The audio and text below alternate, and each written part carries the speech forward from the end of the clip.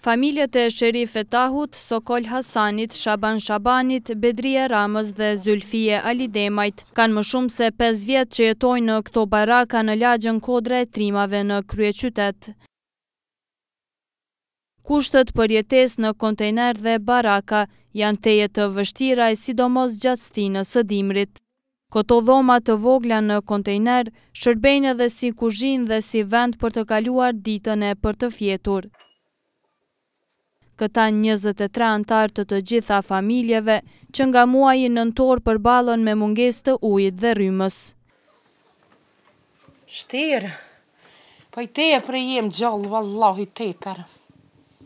Po kush rrin pi qefi këtu.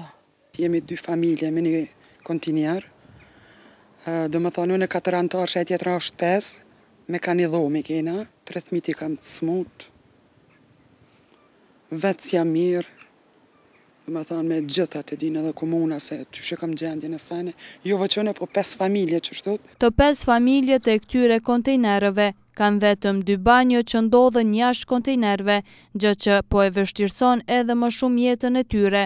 Kështu thonë zonjat e këtyre familjeve, të cilat nuk deshën të identifikohen për shkaqe të caktuara. Jo, në këto kushte, jaj, qi kët dimrin mos e harrofshëm. Qe dimen çfar kushtesh u kon me ceva t'ujit na u kan ngri dhe banjet s'po kem ku po ça ku po moru mujt te o zot o zot qaj qaj krenari po na len qatje me marr qysh t'kallzova dhe pare po na merr Valla oj kushte ma t'rana s'po kem harxha s'po kem dru as.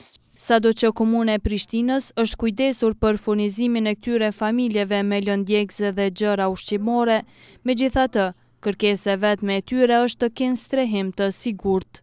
Shalla do Zoti na rahaton dikund. Jeta e vështirë e këtyre familjeve u përmend të mërkurën në mbledhjen e Këshillit Komunal për Siguri dhe Bashkësi në Komunën e Prishtinës. Pas raportimit të policisë për këtë çështje, kryetari Shpend Ahmeti tha se do të bëjnë përpjekje që t'u bëjnë një zgjidhje. Janë nja pesë familje që janë në gjendje shumë shumë të mjerueme. Bash te qendra familjare në Vranjevc aty n'ato n'ato n'ato barakat. Po, jemi tu u marrë me ato, besoj që shumë shpejt zgjidhet çështja. Dje na kur shkumë ish ora dymbëdhjetë me do fëmijë me do krejt strukën në një organa.